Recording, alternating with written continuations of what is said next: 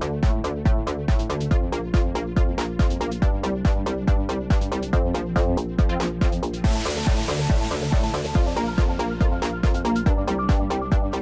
Несмотря на то, что экономика скатывается в рецессию, минимальная месячная заработная плата в следующем году снова должна вырасти, причем значительно. Трехсторонний совет как никогда быстро и практически без споров согласился с тем, что минималка должна вырасти на 10% и в итоге составить более 700 евро на руки. Горничная и ресторанная индустрия выступила главным критиком этого решения. Там утверждают, что в условиях рецессии у них просто может не хватить денег на такое повышение. Ну а некоторые экономисты экономисты и вовсе предупреждают, что в случае, если минималка будет расти, самые низкооплачиваемые работники могут вообще остаться без работы. После серьезного спора между бизнесом и профсоюзами минимальная заработная плата в январе этого года выросла на 83 евро или на 14%, что является одним из самых больших скачков за последнее время. Кроме того, трехсторонний совет начал обсуждение уровня заработной платы на следующий год раньше, чем когда-либо, и даже смог прийти к решению за одно заседание питания. 1 января минималка вырастет еще на 10% и составит 709 евро на руки.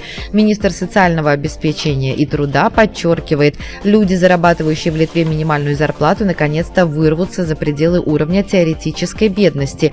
Если в 2023 году прогнозировалось, что порог риска бедности будет всего 1-2 евро ниже минимальной зарплаты, то в 2023 году порог риска бедности составит 674 евро, а минималка 709 9 евро на руки, утверждает министр Моника Новицкене. Отели и рестораны наиболее скептически относятся к повышению минимальной заработной платы. При этом последние даже в условиях высокой инфляции привлекают в этом году на десятую часть больше клиентов, чем в прошлом. К слову, общепиты значительно подняли свои ценники, при этом живут в условиях льготного налогообложения. Конфедерация бизнеса на этот раз не рисует из-за повышения минималки апокалиптических сценариев. Однако это при условии, что правительство не будет повышать для бизнеса налоги. При этом такой план есть в проекте налоговой реформы. Хотя до его утверждения еще далеко. Наряду с минимальной заработной платой правительство также готово увеличить необлагаемый налогом доход на 20%. Но окончательное решение осенью при утверждении бюджета примет Сейм. Также впереди ожесточенные споры по поводу льгот по налогу на добавленную стоимость для сектора общественного питания. Ассоциация гостиниц и ресторанов будет просить продлить 9% скидку еще на год, год, а возможно и на неопределенный срок. Ну а поскольку правительство уже заявило о своем намерении повысить минимальную заработную плату на 10% в следующем году, работодатели опасаются, что высокооплачиваемые работники тоже начнут требовать аналогичного или даже большего повышения заработной платы. По прогнозам экономистов, средняя зарплата в стране, которая в конце прошлого года на бумаге достигла 1900 евро, в этом году вырастет еще на десятую часть. А это значит, что работники будут получать на 200 евро больше и средняя зарплата достигнет примерно 1300 евро на руки.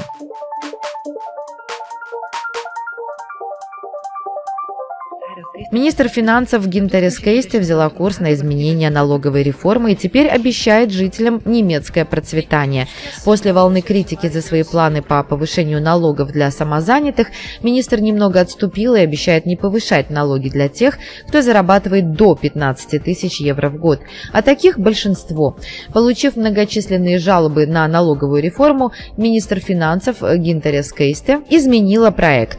Он включает поправки для самозанятых. Министр утверждает, что идет на уступки и обещает, что только 15 вместо 20% самозанятых, то есть тех, кто зарабатывает более 15 тысяч евро в год, должны будут платить повышенные налоги.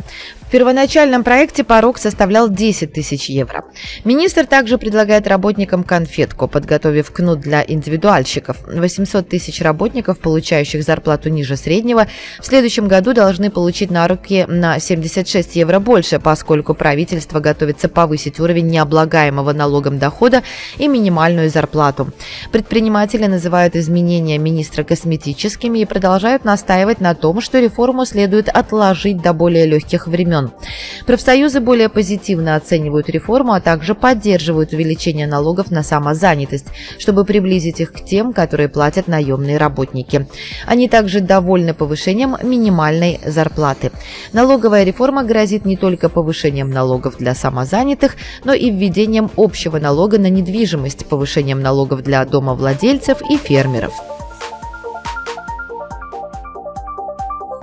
Тем временем Сейм принял зеленый пакет акцизов на топливо. Акциз на дизельное топливо будет постепенно сближаться с акцизом на бензин, что, как надеется правительство, побудит людей выбирать менее загрязняющие окружающую среду виды топлива. Новые налоги возмущают автомобилистов, а предприятия предупреждают, что они приведут к росту инфляции, а не качества воздуха. Дизельное топливо подорожает в следующем году. Во всем виноваты водители, которые загрязняют воздух твердыми частицами. Так думает правительство правительство, поэтому решило повысить акцизы на топливо. С нового года литр дизельного топлива подорожает на 7 центов, а через год акциз вырастет еще на 4 цента и станет выше, чем на бензин. И это еще не все.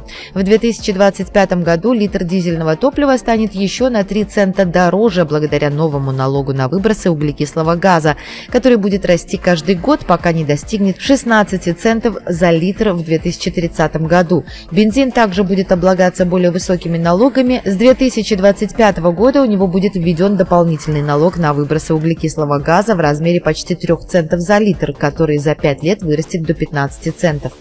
Повышая налоги на топливо, премьер-министр Ингрида Шимонити надеется сделать воздух в Литве чище и побудить водителей ездить меньше или выбирать менее загрязняющие автомобили.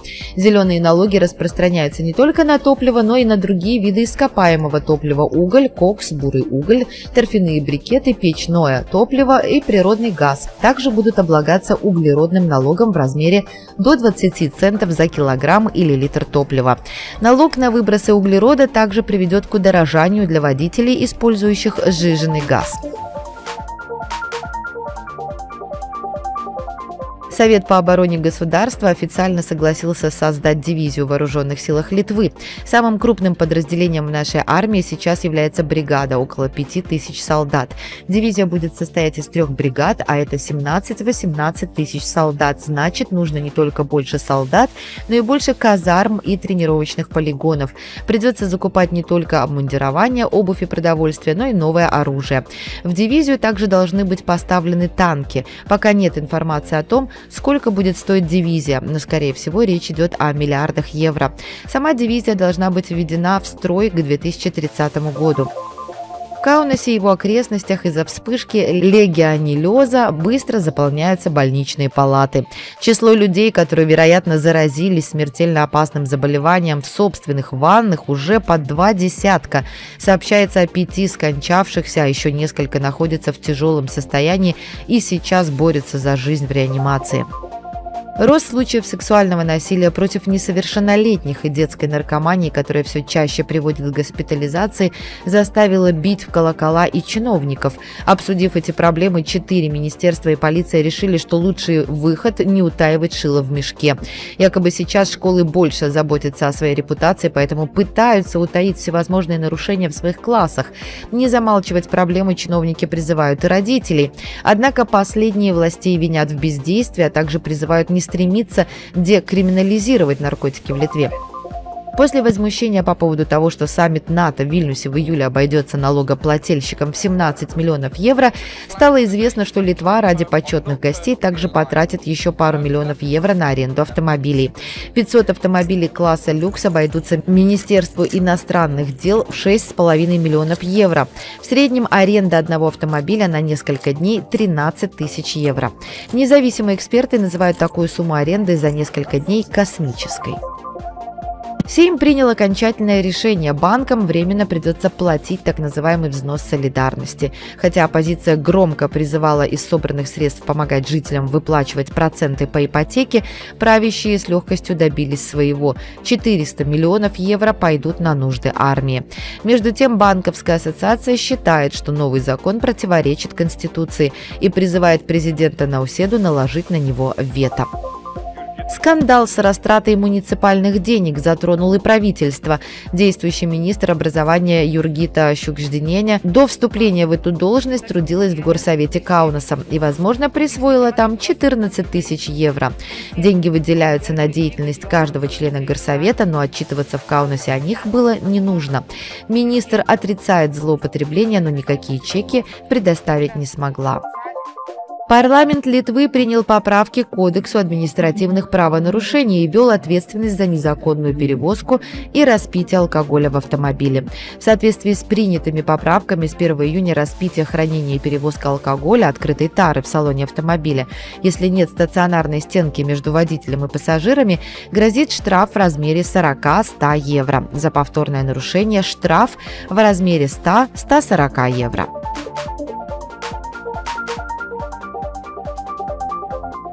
Вильнюсское самоуправление сообщило, что во время подготовительных работ к концерту группы «Рамштайн» в парке Вингис будет ограничено движение пешеходов и всех транспортных средств. Движение прохожих будет запрещено до 24 мая. Сеть автозаправочных станций Circle K Литва ведет новый метод оплаты Pay by Plate. Новая система будет фиксировать номер автомобиля, подъезжающего к заправочной станции, и производить оплату на месте, без каких-либо дополнительных действий. Автомобильный номер через специальную программу будет связан с банковским счетом клиента. Парламентский комитет по праву и правопорядку планирует точно определить мощность электросамокатов для использования в городе и центре города, допустимую скорость, где на нем можно ездить, по какой части дороги или тротуара. Также предлагают ограничить возраст водителей, ввести ограничение нагрузки, если водитель самоката едет с пассажиром, будет установлено обязательное использование шлемов и ограничен возраст. В столице уже есть 35 уличных классов, нетрадиционных пространств для проведения уроков под открытым небом. В ближайшее время такие уличные классы появятся еще в 36 столичных школах. Заявки на участие в конкурсе подали 52 школы, финансирование получат 36 общеобразовательных учреждений. За полученные деньги школы смогут установить скамейки и легко возводимую беседку. Уличные классы могут быть открытыми или закрытыми, они должны быть защищены от непогоды, иметь систему вентиляции вентиляции и отопления. Образовательные учреждения смогут использовать эти открытые классы в течение всего года.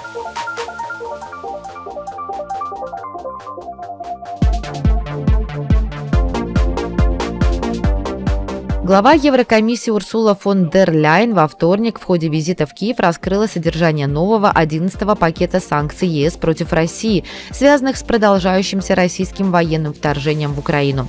По словам фон дер Ляйн, новый пакет состоит из трех элементов. Среди прочего, предполагается расширить список запрещенных товаров, которые через третьи страны попадают в Россию. Кроме того, ЕС планирует создать новые инструменты, которые помешают обходу санкций третьими странами.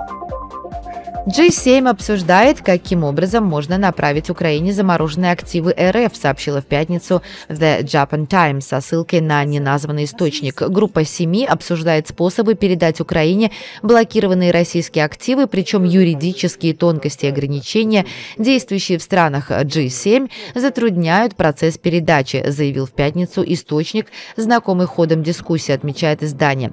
При этом в G7 шла речь о том, чтобы изъять прибыль, которую можно можно извлечь с конфискованных активов с целью обойти юридические барьеры. На Западе заморожены десятки миллиардов российских вкладов. Украинские войска начали формирующие операции в преддверии ожидаемого контрнаступления против российских войск, сообщили телекомпании CNN двое высокопоставленных западных военных. Формирование включает нанесение ударов по таким целям, как склады оружия, командные центры, бронетанковые и артиллерийские системы и направлено на подготовку поля боя для наступления. Это стандартная тактика, применяемая перед крупными комбинированными операциями.